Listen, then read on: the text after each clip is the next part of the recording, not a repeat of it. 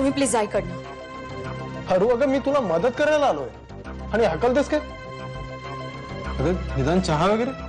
तुम्हाला एकदा सांगितलेलं कळत नाहीये का? मी व्यवस्थित सांगते इकडं निघा.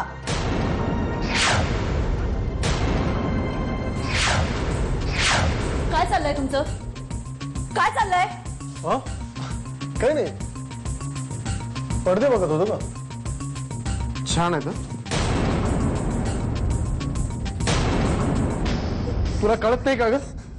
मी बोललेलं कळत नाही तुला? मला काय पाहिजे हे अजून कळायला नाही तुला? तुम्हाला नाही का?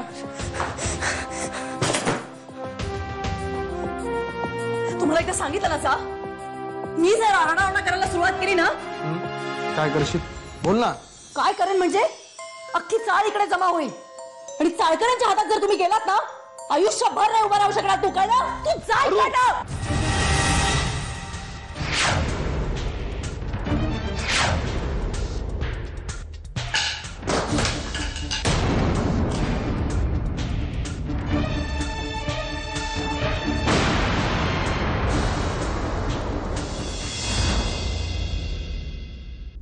हॅलो गुड्डी.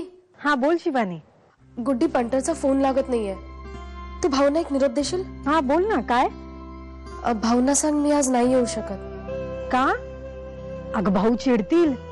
अगं पण मला इंद्रधनुतून खेळायचं असेल ना तर मला तिथे जावंच लागेल. कुठे? एम के एस मुंबादेवी कबड्डी संघ. मला त्यांच्या कोचनं सांगावं लागेल की मी त्यांच्याकडून नाही खेळणार. मी इंद्रधनुची आहे. आणि इंद्रधनुकडूनच खेळणार. शिवानी खरंच खूप बरं वाटलं हे ऐकून. इकडे. काय चाललंय काय? त्या पळण्यामध्ये जीव नाही काय नाही. नुसतं पळायचं म्हणून पळायचं का ते हे कुठे ती? उज्ज्वला कुठे ती? तिला एका शाळेत जॉब लागलाय. ॲज अ कबड्डी कोच म्हणून. त्यामुळे तिला सकाळीच जावं लागतं ठीक आहे काय काय हरकत नाही कुणी येऊ ना येऊ प्रॅक्टिस चालू राहणार स्पर्धा संपेपर्यंत ही प्रॅक्टिस चालूच राहणार चाल. कबड्डी कबड्डी कबड्डी कबड्डी कबड्डी कबड्डी कबड्डी कबड्डी कबड्डी कबड्डी कबड्डी कबड्डी कबड्डी कबड्डी थकू नकोस थकू नकोस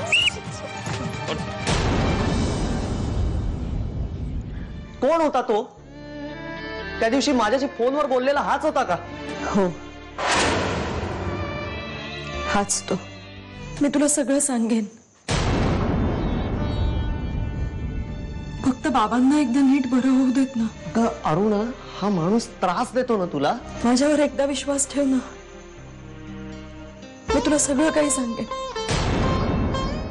स मी इतके दिवस प्रॅक्टिसला नाही आले.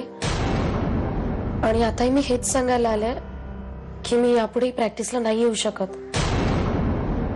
आय एम सॉरी पण मी तुमच्या टीमकडून नाही खेळू शकत. म्हणजे हे नाही शक्य होणार. ओ सर पण इंद्रधनु माझा जीव की प्राण आहे. नाही ओके असेल. पण मॅडम तुमच्या वडिलांनी आम्हाला स्पॉन्सरशिप दिली आहे. तुम्ही गेलात तर मग पैसे पण गेले ना? काय? हो म्हणून म्हणून सांगतो तुम्ही प्लीज टीम सोडून जाऊ नका. आणि हे तुमच्या पप्पांना सांगू नका प्लीज आई. काय रे भूक लागली का?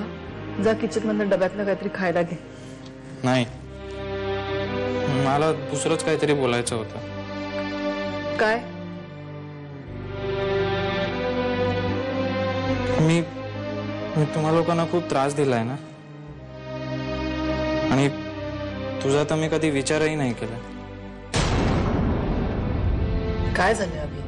असंच बेडवर पडल्या पडल्या बऱ्याच गोष्टींचा विचार करत होतो.